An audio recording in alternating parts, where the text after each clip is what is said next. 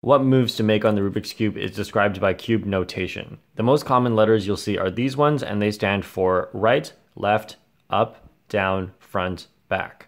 Each letter means to turn that side clockwise if you were facing it. So R would mean face the right side and turn it clockwise like this.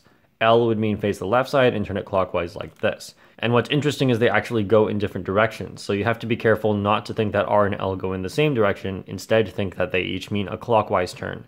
U goes this way, D goes this way, F goes this way, and B goes this way. The apostrophe means prime and it means to turn in the opposite direction. So R prime would not go this way because that's R. R prime goes the other way. 2 means to turn that side twice or a 180 degree turn. So R2 would look like this. Or R2 could look like this. Whichever direction you go in, it's the same thing. Next we have the slice layers, this being the M layer, this being the E layer, and this being the S layer.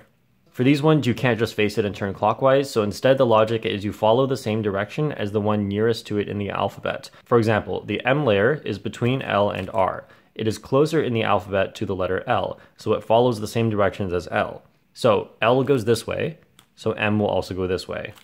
If you see a lowercase letter read as small r, or a capital letter followed by W read as R wide, this means to do two layers at once, so that would look like this.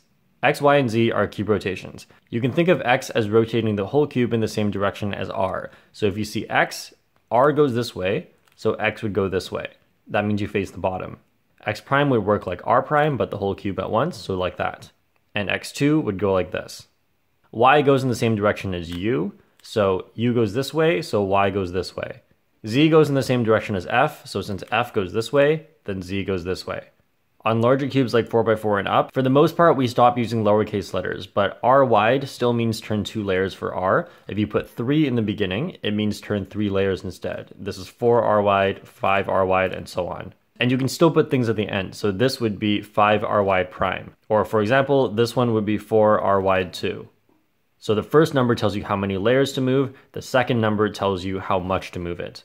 If there's a number before the notation, it tells you which layer to move, but if there's no wide at the end, that means you just move that layer only. So 3R means just turn the third layer from the right like this. And lastly, there is 4x4 specific notation. If you see lowercase letters, they no longer mean wide moves. What they mean instead is slice moves, being like this. So R is just this layer, L would be this layer, and so on. If you'd like to learn some of these algorithms to get faster, then the tutorial playlist is on the end screen. Thanks for watching, and I'll see you guys next time.